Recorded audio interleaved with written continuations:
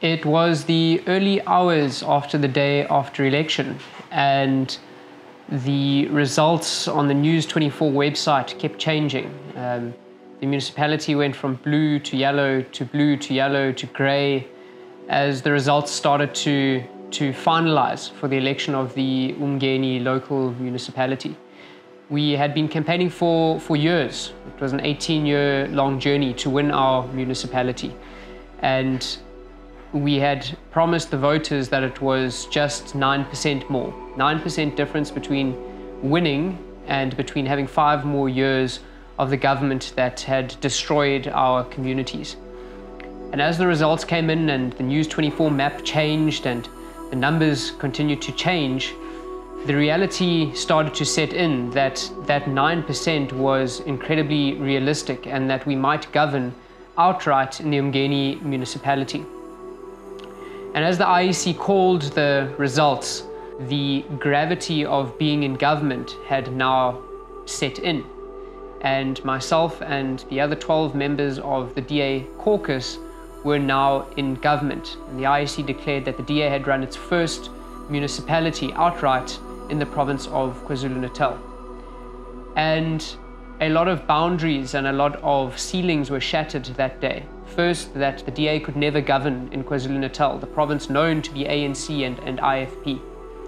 The second was that a young white male in a municipality where 75% of the voters are black South Africans could win outright, smashing the barriers of, of race and identity politics. And importantly, that a young person could lead a municipality in an environment where that is dominated by people who are much, much older and claim to have some sort of command or authority over leadership uh, and development in our country. But what all of this really meant was that the dream that we sold people to get them to believe in, in hope was, was something tangible. That hope overcame fear, hope overcame anger and, and hopelessness and an inability to see something positive in the future. And the people of Umgeni came out in their numbers to, to vote based on hope, a hope that we could change the lived situation of people through the democratic processes.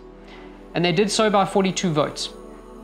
42 votes was the difference between a government that was run by the ANC and a government that was run by the DA. 42 people stood in a line until midnight and voted for change, the slimmest margin ever that a municipality in our country has been won. And that same reality can happen in the 2024 national and provincial elections, where just 42 people can be the difference between hope and hopelessness. 42 people can mean the difference between power and powerlessness. And that's up to every single one of us. To just like the people of Umgeni, bring hope. Hope through the democratic processes and hope through believing that there's a better future rather than more despair.